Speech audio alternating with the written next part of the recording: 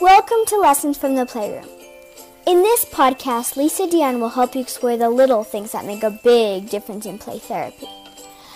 Lisa is a founder of Synergetic Play Therapy. You know, sometimes therapists get all caught up trying to study big theories and mastering techniques to help children like me. But sometimes it's the little things we show you along the way that make the biggest difference. Join Lisa as she teaches you some of the little lessons that children are trying to communicate to you so that you can help us in the best ways possible. And on behalf of all the kids you work with, thanks for listening and believing in us. Let's get started. Hi, everyone. Welcome back to this uh, next episode from the Lessons from the Playroom podcast. We are going in a totally different direction today in our conversation. Um, and I have with me a very special guest to talk about perspective. And um, well, we'll see where we're going to go with this particular topic, but it is super relevant, super important, and one of the topics that we don't actually talk about enough, sometimes at all, and the significance of it in our work clinically as supervisors. I would even just say as beings uh, walking through the world. So, let me introduce our um, special guest. For those of you that are able to watch the video of this, you might recognize this lovely individual with me. For those of you that are listening, um, uh, let me introduce you to um, Dr. Rachel Altvater. Uh, let me tell you a little bit about Rachel. She is a licensed um, psychologist. She's a certified clinical trauma professional. See, she is a registered play therapist and supervisor. Uh, she's done many things, so uh, hold on to your hats here as I uh, share with you. Um, she's the owner of Creative Psychological Health Services, the co owner of North Star Creations. She's the past president of the Maryland, D.C. Association for Play Therapy um, editorial advisory board member for the International Journal of Play Therapy, and you're also a contributing author um, as well um, to the to the journal. Advisory board member for digital play therapy and Ascendant VR, clinical consultant, content creator for Cognitive Leap, and like on and on and on. You do so many amazing things. And um, she has just published a book which is really why I asked her to be a part of this conversation. I'm going to hold it up uh, for those of you that can see. So her book is called Perspective. Um, and it's perspective contemplating the complexities of our realities. So, Rachel, thank you so very much for joining me in what I know is going to be a really thought provoking conversation. Thank you for having me. My heart just feels so full and connected. So, thank you all for joining us. And thank you, Lisa, for having me here. And I'm just so glad we have time to chat.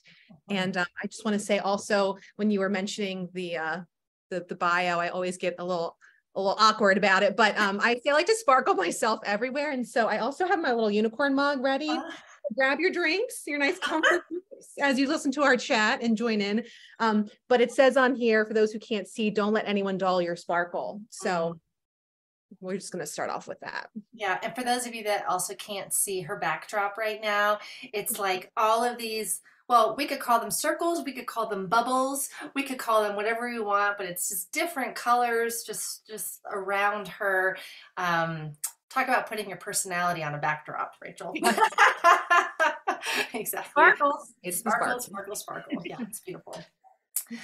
So um, let's talk about perspective. Yes. So you just wrote and published an entire book on this yeah. topic, which is a super unique topic.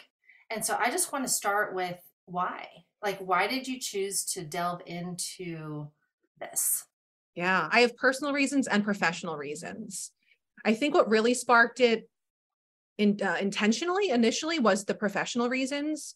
So us as play therapists, we have a tendency to find themes, right? We learn within our work, within our training, to look for themes, thematic material, symbolism within what it is that we are helping our clients process and release. So naturally, my brain just finds patterns and themes. And I don't know if that's because it's been a part of my training.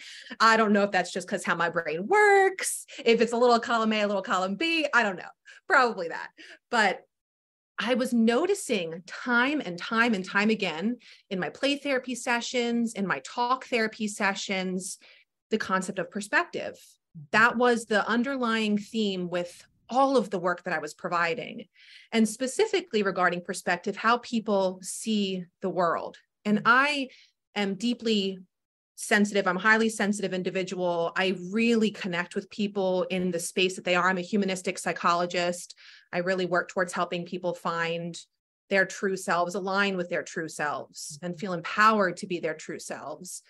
So, really leaning into each person's unique perspective helped me gain greater insight into our intricacies as humans, right? There's a lot of similarities as humans, and there's a lot of differences as humans. So I just started picking up on that. And then it eventually got to this place where my brain was like, you need to write a, a book. Like, okay. Why that was a thought, I don't know, but it was. So I went with it. I have this list in my phone called Brain Vomit. Yes. it is actually called Brain Vomit. I have one for my husband called Thought Spirals. Um, so when he shares things with me, I'm like, hold on, wait, let me get the list. And I have this like mile long list of his thought spirals. I have mile long list of my brain vomit. And um, and so I can go back to the actual entry. It was, I don't know why, but it was on Valentine's Day of 2021. And I started to write pers- I wrote the title perspective. I said write something reflective on the cover. Like it just was the thought that popped into my head. And then following that, every time I met with clients in sessions, I started to have this flood of thoughts and I just created a whole mush of what was in my brain and then I eventually organized it. But that's really how it started. It was this is something I'm noticing in my work in the playroom, again in my talk therapy sessions, all ages, you know, from 4 I think at the time all the way to maybe 71, 72, and this was a common thing that all humans were grappling with, their perspective. So um, yeah, that's that was the professional reason. The personal reason is I have had a huge shift in my perspective over the years. I was definitely privileged to be raised with rose-colored glasses and was shielded from a lot of the harsh realities of a lot of people, even those closest to me. And while that served as a really beneficial protective factor, and I, I am grateful for that, and again, I know I am privileged in that, I had a lot of resentment and anger when I started to recognize that the way I saw the world was not absolute reality. And um, my husband is my polar opposite. We actually even have tattoos. Those who can see, I have a plus sign. He has a minus sign. It's kind of like a little battery. we keep each other going, uh, and you know we we need the the opposing forces to really uh, you know manifest the life that i think is most beneficial for us and uh, it was hard for him to point some things out in my life that were against what i thought that challenged that. And um, he he hung on and he was he was persistent and, and helped me shift my perspective. So those are the two biggest reasons why. And it just also my brain like let's do this. Okay. Let's do this.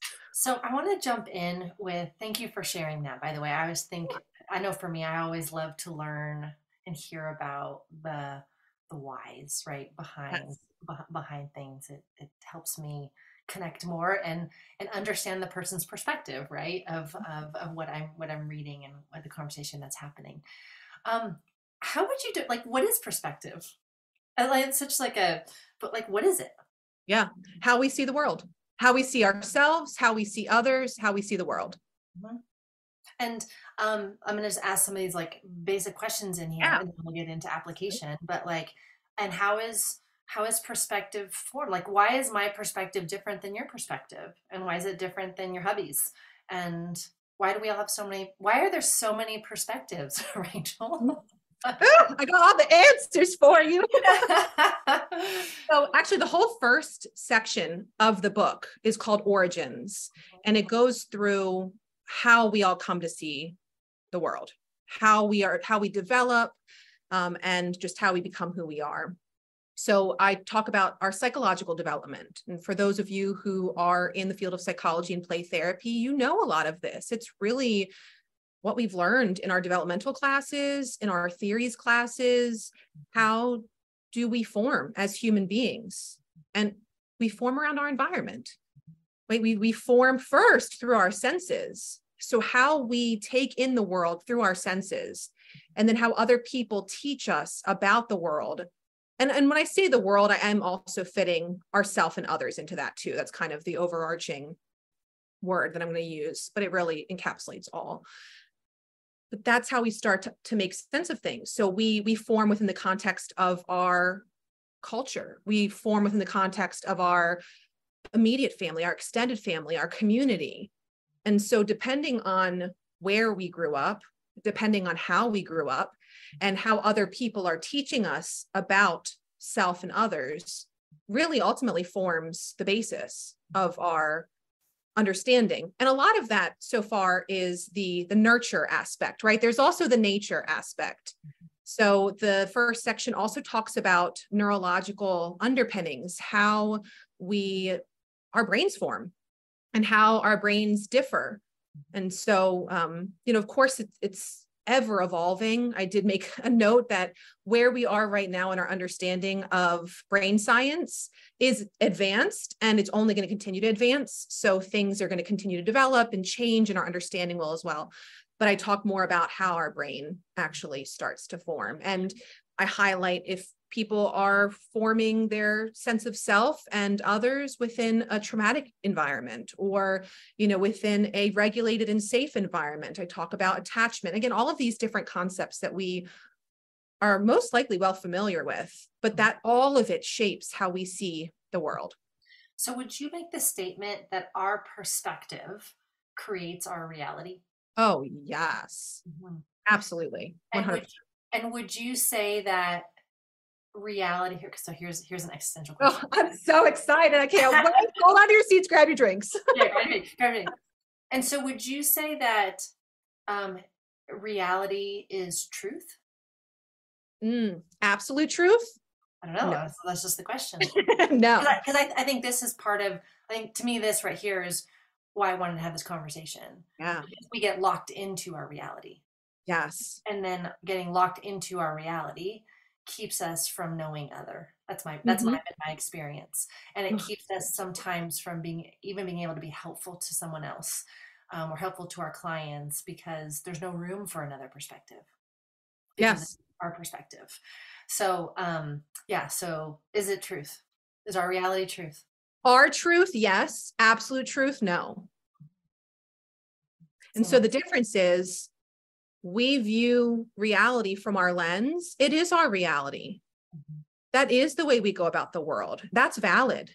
Mm-hmm. And another person could have a completely different mm-hmm. experience, and their reality is just as valid, even if it's opposing. And that's hard to sit with.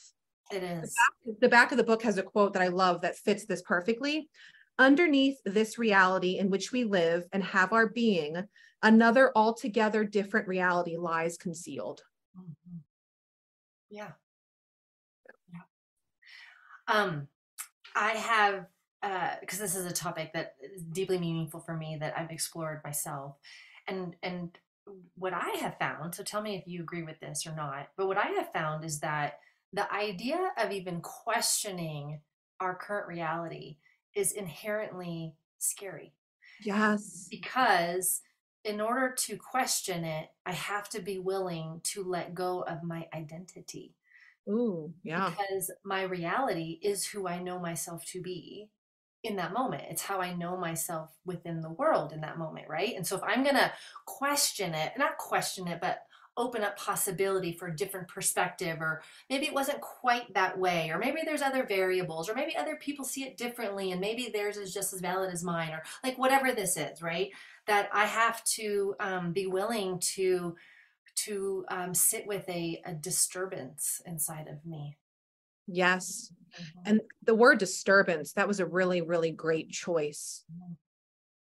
That word because I'm thinking nervous system dysregulation. Mm-hmm all of us as humans want to stay safe, right? Our nervous system activates for self preservation. Yeah. So when we are placed in any unfamiliar experience, mm-hmm. internally or externally, our nervous system inevitably is going to be activated mm-hmm.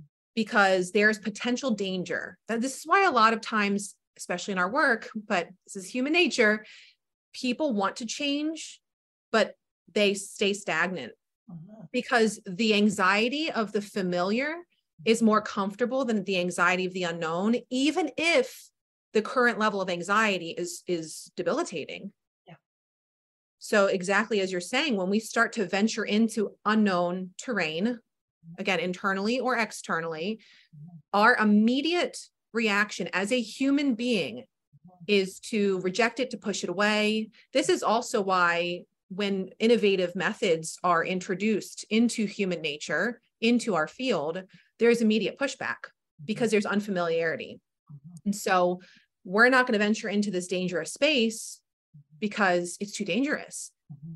Like I might lose my life. Even if that isn't necessarily the case with the circumstance, our nervous system doesn't differentiate. It's not like, hey, Bright, hold up. Let's have a conversation real quick. Are we good? Is this like a real threat? Is this a perceived threat? Like what's actually going on here? Nervous system doesn't care. It acts before your brain even registers what's going on. So when we're trying to adjust ourselves Mm-hmm. It's a very similar response. Now, I don't know all of the the intricacies, you know, neurobiologically. However, I do know nervous system and how that impacts our perspective and our way of moving about the world and about change. Mm-hmm. So I think that's another layer to mm-hmm. consider with I'm going to broaden my perspective, but there's this danger. Maybe I need to stay where I am. Totally. And and I think if our listeners can just really appreciate that I like to think of it as the highest priority from a neurobiological perspective inside of us is safety. Mm-hmm. You know, um, and safety doesn't always mean growth. I think that's important, right? Safety can mean growth, but safety can also mean stay comfortable because because it's really safe. Yep. So let's let's take this now. Now that we've defined perspective and we're like, okay, what we're really talking about is our own individual realities of our life, and there's many, and not one is right or wrong. They're just everyone's is unique and valid for their experience. Why do we need to be talking about this as play therapists?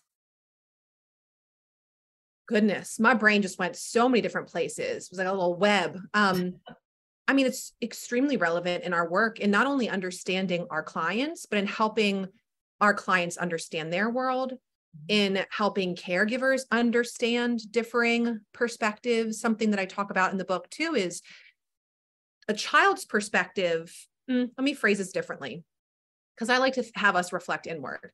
Let's think about being a child for a second, right? And think about um, what it was like for us growing up. And even trying to connect that to how we see the world now, right? How we relate to other people, how we relate to ourselves, how we move about the world. But I also want to say, when we think about that, we're thinking about that from our current perspective. Mm-hmm. We aren't thinking about that as if we were that child again. And so I think a lot of times, even when we are trying to relate to our child clients or to our children, it's challenging for us to truly understand their perspective. Uh-huh. We can lean in as much as we can. And even then, like, we're not going to always understand the intricacies of everyone's perspective because only we are going to understand our perspective. And even that is complex. We can get into more of those details. I won't venture too far away from the question quite yet. Uh-huh. We'll get there. I'll put a little cap in it for now. But it's so important for us to really see a child's world through their lens and not through our perspective mm-hmm. and um and and we can't help but see things through our perspective right so like that's the challenge here but it's it's kind of like um goodness i've i've heard so many times what do you have to worry about? You just have schoolwork. You just have insert whatever invalidating statement is said. And whether that's intentional or unintentional it's invalidating regardless mm-hmm. right? And you know i have to deal with bills and i have this and i have that. Yes there that's valid too. So i think really understanding something that's big for a child is valid. Mm-hmm. and important to be nurtured and validated and supported and providing guidance in whatever way shape or form that you know makes sense for the work that we provide and for that client in particular. So i will say that but also understanding ourselves mm-hmm. right as clinicians it's so important for us to reflect inward. We learn about the world from how other people tell us like i mentioned we learn about ourselves through how other people tell us how many times hold on to your seats and grab your drinks again how many times have we absorbed other people's projections mm-hmm. and then taken that as fact about ourselves. Mm-hmm. Totally. And then moved about the world in a way that we thought we were a certain way because someone told us that, whether through verbal interactions or just through nonverbal interactions, whatever it may be, how we were treated. And we are convinced that, that is who we are, when in reality, that's somebody else's stuff. Yeah. Can I share a story on that? Oh, yes, please. Okay. So, um, so I'm a twin. I have a I have a twin brother, and um, growing up, I was told, Lisa, you're the social one. Stephen, you're the smart one. And I and I believe that, right? I took I just right. I'm Lisa, the social person, um, and I'm I'm not smart like my brother. He's the smart one. So I'm gonna basically delegate all my smartness away to my brother. And what it did growing up was it created this I'm not good enough inside of me because I moved through the world comparing myself to Stephen, but then um, squashing the part of me that wanted to be smart. But I'm not supposed to be smart. I'm just supposed to stay social, right? Mm-hmm. And um, and I really attempted to develop an identity around being social, and I just kept squashing and squashing and squashing this part of me that uh, you know, that was intelligent, whatever that meant. Until in high school, we had an experience where um, he moved away. So my parents were divorced, and he chose to go live with my dad for a bit of time. And we were finally separate from each other, which allowed us now this space to figure out who we actually were. And it turned out that he was the social one. Hmm. And I was the one that was actually more academically focused. And it wasn't until I said, no, wait a second, who am I really? Not these beliefs of whatever, that I gave myself permission to actually own, well, dang it, I have some smarts in me and I am intelligent. But it was it was probably a 10 year period of me walking through the world, literally just ingesting that I was supposed to be social. And my nature, Rachel, is I'm actually an introvert. I'm not an extrovert by nature. And so it was like a total disconnect for myself internally just mm. because I ingested that perspective and created a story, right, about who I was supposed to be. Um, so just an example of what you were talking about until I finally separated and gave myself permission to be like, no, dang it. Wow. Thank I you. I want to be smart. I want to be smart too. I, dang it, I am smart. How many people don't have the opportunity? Mm-hmm. Or th- either doesn't present itself or they don't allow themselves to have the opportunity because they don't think they're worthy of that opportunity to truly explore who they are mm-hmm. and then to align with that. Mm-hmm. Yeah. And even as professionals, as mm-hmm. clinicians, so many times I see in my supervisory sessions imposter syndrome right that's that's a common common thing here for all of us humans um, and just within the field but really really questioning oneself feeling mm-hmm. extremely inadequate and living that truth yeah but then trying to present a certain way right so then there's this incongruence of who i truly am what other people have told me that i am and then how i'm presenting myself to the world yeah can we even expand that out to? I see this a lot that there is a right way to be a play therapist. Mm-hmm. Yes. Right? There's a right way to be a play therapist. A, a good play therapist does this, doesn't do this. Um, a good play therapist, their practice looks like this, they're like whatever, whatever it may be. And I see a lot of clinicians um, uh, walking around the world holding onto the perspective of the field like yes. ingesting that larger perspective of the field rather than, well, who am I as a play therapist? and Right. and what's my what's my truth in that and what's my reality of who i of who i am so i see that a lot i imagine you do as well Oh, absolutely. You know, and I'm thinking, and this is not to knock our programs by any means. I'm going to preface it with that. And I'm just stating Mhm. fact from what I've seen and what I've experienced, right? My reality might not be everyone's reality. Who's listening? Who's watching? I, I know that. Um, and something that's a shared experience is this is what you learn in school, this is what you do. I remember graduating with my master's from a university that was primarily CBT. And I had my first supervisor out of my master's. I was in my doctoral program at the time and uh, hadn't started learning a lot about other theories. So when my when my supervisor said, you know, what is your theoretical framework? Well, obviously it's CBT Mhm. because that's what's supposed to be from what I learned within my particular program. Yeah. And um, and then she asked, you know, how do you conceptualize this client? I was like, oh, I don't even know what that means. I do now, right? Like trying to make sense of your client within the context of your theory, but I didn't really understand what that meant. Mhm. So then I'm starting to operate, you know, within the field. I'm providing these services and I'm like, I don't even know. That was not in alignment with me. And I didn't realize until I went more through my doctoral program and learned m- more overarching theories. And then I said, I am humanistic through and through. Like that 100% aligns with me. And I think that's another thing too is we learn something this goes back to the origins, right? We learn something. This is the way we're supposed to be. This is what my supervisor is saying. This is what my professor is saying. And I'm not not to knock guidance, right? Like, of course, it's so important for us to use that guidance to really help shape us into the professionals and and personal, you know, the personal aspects of our lives too, um, that we are, and find that which aligns with you. Yeah. And Yeah. so that that's something I've really noticed with a lot of the supervision that I provide and with my practice and working with students. I'm going to provide you with some guidance and I want you to establish your own clinical identity. Yeah. And I want to provide some some support with this is maybe how to write a note and I want you to start to establish what aligns with you. Yeah. Um, as we're talking about this, I want to bring back something you said earlier because I just I think the the repetition of it is so helpful in the conversation.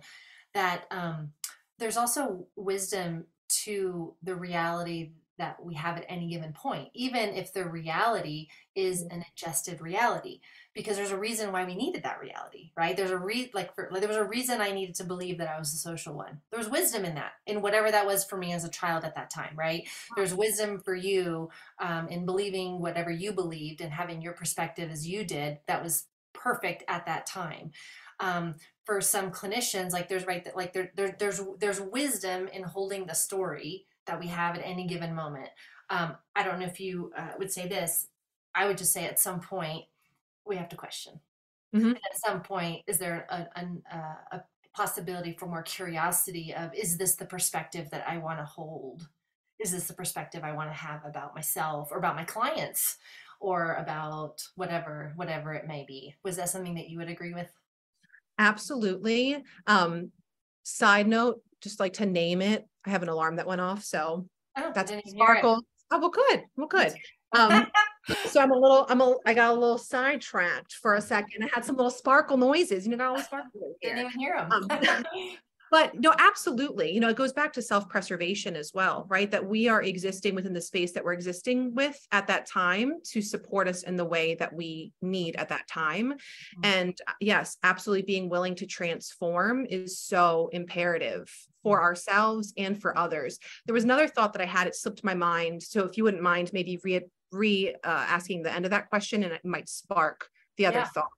Um, yeah, so that's funny. I'm like, oh, really, Rachel? You want me to go back to what I was to what I was just sharing? It's hilarious. Everyone's listening. Yes, uh, the, the, the, the gist of what I was saying is that um, at any given point, I, I just think it's important that that we keep uh, reiterating that pers- there, there's wisdom to perspective, and every any given point, no matter what that perspective is, and so there's wisdom to our reality and to our story, and there's a reason why we have the perspective that we have at that time, and maybe it's a protective mechanism, maybe it's you know to, whatever a social like whatever it may be, right? But um, at some point, or does there come a point when we are asked to look at our perspective and to get curious about is this the perspective I want to hold about myself? Is this the perspective I want to have about my clients? Is this is, is this the perspective that feels most congruent for for who I am? Yeah, that was somewhere in that direction. No, that was it. That was lovely. It came back. I always joke with the people that I talk with, and it's also kind of true. I have popcorn thoughts. So uh-huh. um, a lot of times when something is asked or shared, I just think of all these different things. And um, sometimes the popcorn pops a little too far away. we have regathered the popcorn in the bowl. We are here. Um, yeah. no, no, no, no, no. All the thoughts, all the curiosities, exactly. Um, yeah, you know, and this actually is is a beautiful transformation uh, back to to the actual book, uh, section two, it's kind of really aligns with this. Um, and section two is reflecting inward, and it starts with philosophical ponderings. And I love that you have mentioned a couple different times in our conversation so far about the why, because us as humans ask why. How many times have you been in a room with a child? Why? Why? Why? Why? How many times does a, adult say, because I said so? No, that's not going to really help expand the curiosity and the understanding that shuts it down. Um, and I recognize it could be a little aggravating um, for some, uh, but but this why piece really drives us as humans and pushes us forward. So reflecting why within ourselves, how come I am who I am? Mm-hmm. How did I come to be who I am? Mm-hmm. Does this align with who I want to be and who I truly am? How can I tell? Right? And so um, then it, after the philosophical ponderings it moves into how i view myself and how i view other people and really starting to delve deeper into these questions. Yeah yeah. And so i think that being able to get to a place to just ask yourself who am i really? And how do i want to continue to transform into the best version of myself? Mm-hmm. whether that is shedding some of the beliefs that i have absorbed throughout my life that i've been told that I've been convinced about myself, whether it is amplifying aspects of myself that genuinely do align. Mm-hmm. You know, it, it's going to vary person to person. Yeah. I'm, I'm thinking about the the relevance of this, you know, as a as a play therapist. If I am a play therapist and I have a client that I'm working with and I'm I'm not clear on why I believe what I believe about whatever it is, I I um I put myself in a higher probability of whatever that message was that I was told that I ingested. I I now have a higher probability of turning around and then regurgitating that yeah. message towards my clients. Yes because I haven't stopped to go, wait a second, is that a is that is that something that feels congruent for me? How do I make meaning of that? How do I want to help my clients get curious about that or not? Um, and, and how I can hear that come up, and I'm just reflecting on like different supervision sessions or whatnot, is um, a supervisee that um, can get caught in right or wrong. Mm-hmm. No, it was not okay that the kid did that. Like hard line in the sand, not okay, right? Or it's not okay that the parent said that to the kid, but it's a very rigid, good, bad, right, wrong, um, you know, divorce is bad, marriage is good, uh, like what, like what, whatever, whatever the belief system is, yeah. because they're filtering whatever's happening through their reality, their perspective, right, their ingested beliefs. Um, but with that rigidity um, we can't connect to our client and then we can't help them get curious about well how do they feel about the fact that their parents are getting divorced? Because maybe this kid actually is freaking grateful. Mm-hmm. seriously yeah, yeah right? no, absolutely. Or how do i support this parent in becoming curious about what what their perspective was that drove them to say or do whatever they did um, but I, I'm just hearing and seeing this like the more the more we are rigid in our story, or the more we are are are um, uh, the more we we don't question, we lose opportunity for connection. That's what it feels like. Oh, absolutely. Yeah, I'm I wholeheartedly agree. Mm-hmm. And I also am thinking about the therapist's own projection that they might not really be aware Mhm. that they are placing onto the child. Mhm. Because again, we are operating from our perspective. So if we are convinced by our position, our position is the right one, Mhm. and then we have more absolute thinking as a result, right? This black or white thinking, Mhm. we're operating from our perspective, and that's hindering Mhm. the client's perspective Mhm. if we lean in and we are entering into their space from a place of curiosity Mhm. and questioning, I don't mean necessarily direct questioning, although if that aligns with your theoretical framework, maybe some direct questioning, we're not going to really fully understand where that child is and what their needs are. And so many times, even seasoned play therapists, I have these moments. Okay, let's normalize the experience. Um, I sit there and I think, oh my gosh, am I doing enough? What do I need to do to make sure that this client is reaching their therapeutic goals?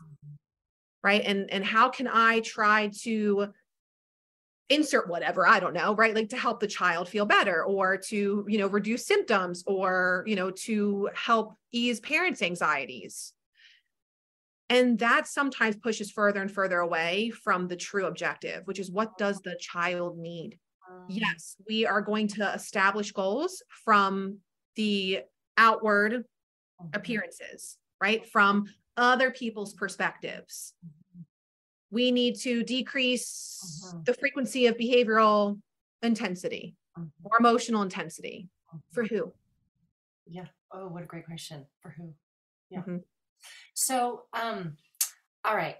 For therapists that are listening right now and they're like, okay, I I want to get curious about my perspective. Um, Good. right? So whether they actually said these questions out loud or was just, you know, their inner dialogue, what are examples of kinds of questions? Let's start first with um, perspective of the self, and then I'm going to ask you about perspective of somebody else. So if I want to get curious about, I know we're going to the next section. So if, if I if we're wanting to get curious about perspective of the self, what are some questions? I love that you asked that question because at the end of every chapter, there are five self reflection questions. So, chapter five is advancing awareness of self. Mhm. And there are five questions that I'm going to read to you Mhm. to answer your question. Mhm. Um, but this is great because there are thought provoking questions at the end of every section to really help you solidify what the information means to you. So, the first question How intimately do I see, know, and understand my true self? The second question Is the knowledge that I have about myself based on fact or perception? If perception, whose? Uh, three, in what ways have I been sculpted by others? And these take some like pretty in depth. Uh, You could moment. do like multiple therapy sessions just Right. on, I'm like, you could do sand trays, you could do art, you could write poetry, you could like you could do a whole thing just on, you know what I mean? Yeah. oh, yes. Mhm. Oh, I love it. I just got chills. Mhm. I love this. Um, the fourth question What messages did I receive in my life to support or challenge my sense of identity, worth, value, and capability? How do these messages continue to influence me today? And then the fifth question Am I who I am because I authentically align with this version of me? If not, what needs to be adjusted? Big questions. Yeah. Deep questions. Okay, so let's keep going. So you're my client, um, Rachel, and I'm having some perspectives about you, right? Um, and uh, and I'm and I'm and I'm pretty rigid in my thinking about your behaviors or about I don't know something about you. Um, and all of a sudden I'm like, huh, why, why, why am I why am I thinking this way about Rachel? So what are what are the questions now that can help me in a relational context? Well, would you look at that? The next chapter, expanding awareness of others. We got some questions. I will preface it though with, of course, this is going to vary depending on how you're implementing your therapy and if you're engaging in some talk therapy, if it's just nonverbal, like it's going to be adjusted. But these are the ultimate underlying questions that would be helpful to ask um, or to be curious about. Mhm. Uh, how do I tend to view others? Mm. Right, because oftentimes what I've what I've learned, what I've experienced is we are going to be another uh, relational experience that probably emerges throughout Mhm. the this person's life right? Like if there's something that's happening in a certain context it's likely to repeat in other contexts. Yeah. so um if we're able to take a step back and really recognize what is my overall sense of viewing other people then it starts to help us take a step back from blaming individual people right? Or saying this i'm this way because you make me feel this way. I don't know i'm just giving an example but i tend to feel this way in relationships. So um so just being able to reflect overall how do i tend to view others? What is my overall mindset and worldview in pertaining to others? Second question how do others tend to view me? Mhm. because not only is it how we look outwardly but how other people treat us then ultimately is going to influence the way that we are responding to others right? There's the common saying treat people how you want to be treated. So inevitably we are going to mirror or you know reciprocate some of the interactions that we're receiving so that all plays a role in this too the third question in what way do my foundational relationships influence my current relationships so I started to touch base on this a little bit with the first question, at least in my explanation, but how does our attachment style impact the way that we're attaching to other people? Even our clients, everyone, Exactly. right? Exactly. And how our clients attach Gosh, to me, we- Rachel, that that is a play therapy workshop right there. How the therapist attachment style influences their uh, work in the playroom. Yep. Yeah. And I want to just make a quick comment here because I want to come back to the imposter syndrome. I know this is a normal experience. So I just want to name it and normalize it for everyone listening. If a client, quote, doesn't like us, one, we just might not be the right match for them. But two, this might be a reenactment of another relational experience. But if we absorb that and then we feel bad about ourselves and our abilities as a result, we are missing the golden opportunity here to help our client work through these relational patterns that continue to play out. This is a safe space for them to do that. But when we take that personally, it's harder for us to connect to that for them, right? It becomes more about us. Which right there is that sweet spot because if I'm taking it personally, it's touching in on my perspective of myself. So somewhere along the the somewhere along the way, I took on the belief that I deserve to be rejected, or I'm not good enough, or I'm not worthy, or whatever it is. So that when that does ha- happen, it it lands right. It goes in pretty deep. Versus like, oh, this is this is interesting. I'm participating in a dance right now, and I can stay a little bit more curious and objective about it. Totally. Absolutely. So that's why it's so important for us to start with reflecting inward within ourselves, because then it becomes a little bit more easy for us to view mm-hmm. others. I am a recovering people pleaser. And th- this is something, that- goodness, I would become so bent out of shape if someone didn't like me or if I felt that I upset someone. We are not going to be everyone's cup of tea. One of my favorite quotes that I wrote in the book, too, I refer to it all the time in therapy. We can be the ripest, juiciest peach.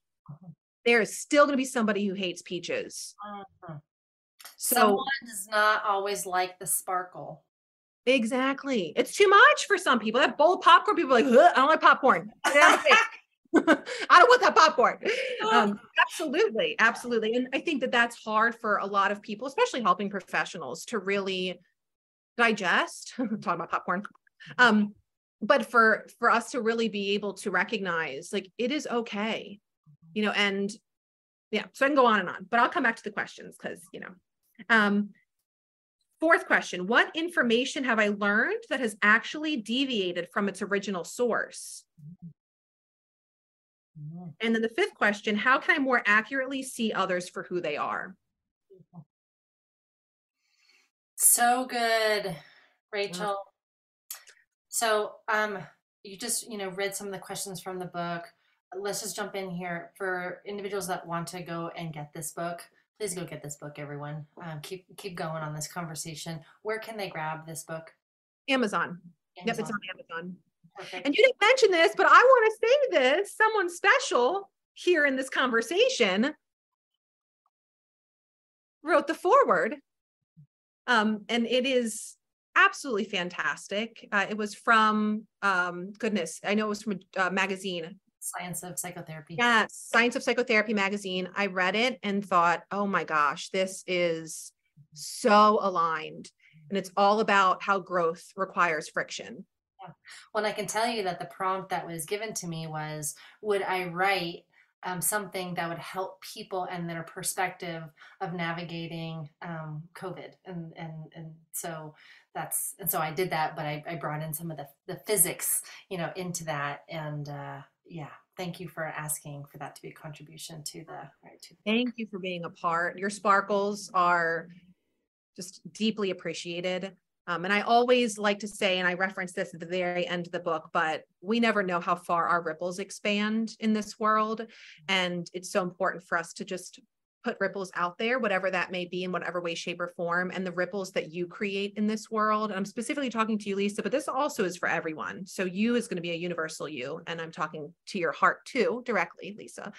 Um, far expand your consciousness. You will never fully know how far the ripples that you create in this world are going to benefit other people.